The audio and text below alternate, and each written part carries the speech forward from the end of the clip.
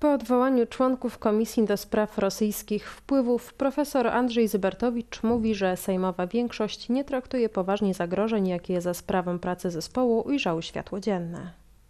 Członkowie Komisji do Spraw Rosyjskich Wpływów zostali odwołani głosami nowej większości.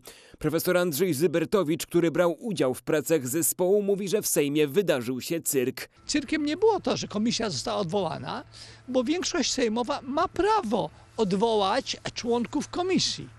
To było zgodne z prawem. Cyrkiem były argumenty. Profesor Andrzej Zybertowicz podnosi, że obie strony sporu politycznego w Polsce podnosiły obecność rosyjskich wpływów w nowej większości, gdzie, jak tłumaczy socjolog, padały absurdalne argumenty. Nie było jednak woli, by zmierzyć się z problemem. Nie zlikwidowano komisji.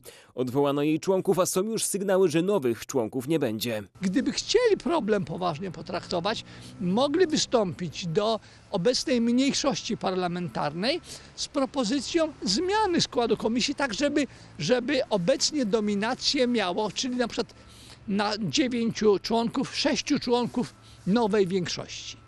I wtedy komisja mogłaby dalej pracować w jakimś trybie konsensualnym. Nie zrobiono tego, co według profesora Andrzeja Zybertowicza upoważnia do postawienia tezy, że wynik głosowania w sprawie odwołania członków komisji jest korzystny dla Rosji. Temat, który podjęła komisja, to związki służby kontrwywiadu wojskowego z rosyjską FSB. Gdy tajna służba, której zadaniem jest zwalczanie obcych wywiadów w sposób nieroztropny, profesjonalnie nieudokumentowany, bez planów pracy, bez rozliczeń działania, odbywa dziesiątki spotkań z przedstawicielami obcych służb specjalnych, to najłagodniejsze określenie, jakie tutaj można użyć, to jest nieprofesjonalizm i naiwność. Według profesora Zybertowicza nazwiska polityków, między innymi Donalda Tuska i rekomendacja, by nie powierzać mu funkcji związanych z bezpieczeństwem, wynika z płytkiego nadzoru nad służbami, co potwierdziły jego zeznania w prokuraturze.